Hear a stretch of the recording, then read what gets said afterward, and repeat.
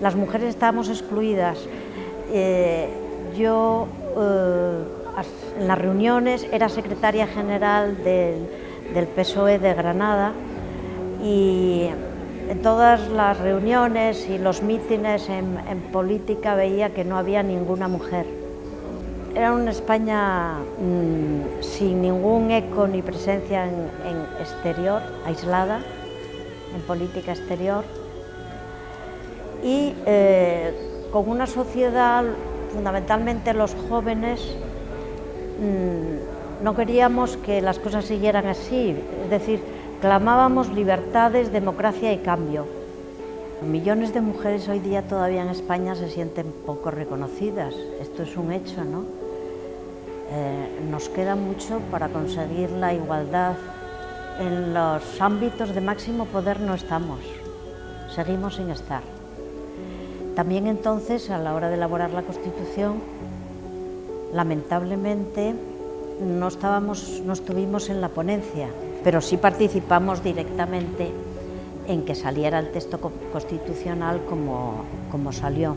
La clase política española, en términos comparativos con la de otras democracias, es equiparable y es limpia. ¿eh? Es, eh, lealtad, tiene lealtad hacia el electorado, eh, es, un error pretender que aquí todos eh, somos corruptos, eso es un disparate y me, parece que es, eh, es una, una injusticia que nos llevaría a destruir los valores construidos. La gente tiene un concepto de la política y de los políticos en este momento muy, muy penosa, ¿no? Entonces yo en esta película les presento a 27 mujeres y concretamente a 14, que son las que están en la película, que son políticas y sin embargo creíbles. Y la razón es porque yo creo que hablan de la política desde el corazón. Son testimonios que de otro modo pues eh, se hubieran perdido porque eh, estas mujeres han estado completamente invisibilizadas 35 años, nadie se ha acordado de ellas. No nos han contado la historia de las mujeres, conocemos la historia de los hombres y la, la, historia que han escrito los hombres, pero no, no, no, te estoy hablando de una percepción, te estoy hablando de una realidad. En estos 34 años que han pasado nunca se había hablado de ellas. Algunas veces me preguntan eh, en algunos foros que por qué no he preguntado lo mismo a los hombres y no los he incluido. Suelen ser hombres los que dicen esto y bueno, pues es una elección personal, yo creo que, y también, y también política, porque lo, personal es político, yo con mi trabajo y tú con el tuyo también hacemos política, ¿no?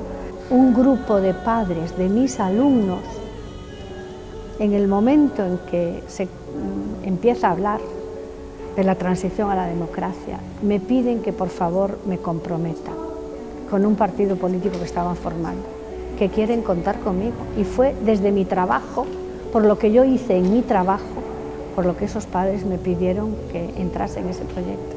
Y así entré, y así empezó. Las comisiones fundamentales en las que trabajé fueron educación en primer lugar, y eh, eso absorbía la práctica totalidad de mi tiempo. Pero siempre me gustó eh, pues, eh, meter la nariz en aquellas cosas que me parecían que, en las que yo necesitaba enterarme para desarrollar la labor eh, con la eficacia que debía hacerlo, que tuviesen que ver con, la circunscripción electoral en la que yo estaba.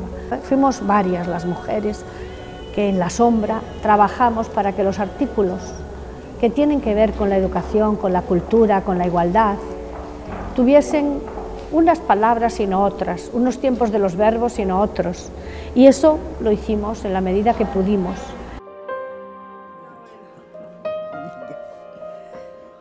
Mi niña va, a hacer política como su abuela. ¿Sí?